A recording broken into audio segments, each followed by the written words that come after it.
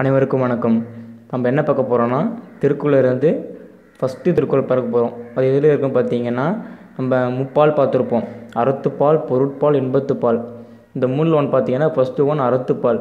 அறத்துப்பாலில் நம்ம நான்கு இயல் சொல்லியிருந்தேன். ஃபஸ்ட் பால் ஃபஸ்ட் பாலத்தில் பார்த்தீங்கன்னா தெரியும் உங்களுக்கு. இந்த நான்கு இயலில் ஃபஸ்ட்டு ஒன் பாயிரவியல். அதில் பார்த்தீங்கன்னா நான்கு அதிகாரம் இருக்குது அது என்னென்னு பார்த்தீங்கன்னா கடவுள் வாழ்த்து வான் சிறப்பு நீத்தார் பெருமை அரண் வலியுறுத்தல்.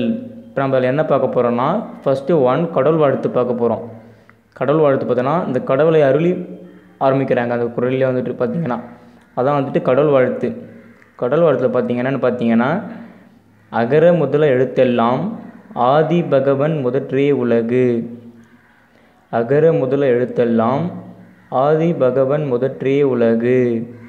இப்போ என்னன்னா அகர முதல எழுத்தெல்லாம் இதுக்கு என்ன அர்த்தம்னா எழுத்துக்களுக்கெல்லாம் முதன்மை அகரம். ஆ அதுபோல ஆதி பகவன் முதற்றே உலகு. இந்த உலகத்திற்கே முதன்மையானவர் பகவன். கடவுள் அதான் சொல்ல வராங்க. அகர முதல எழுத்தெல்லாம் ஆதி பகவன் முதற்றே உலகு.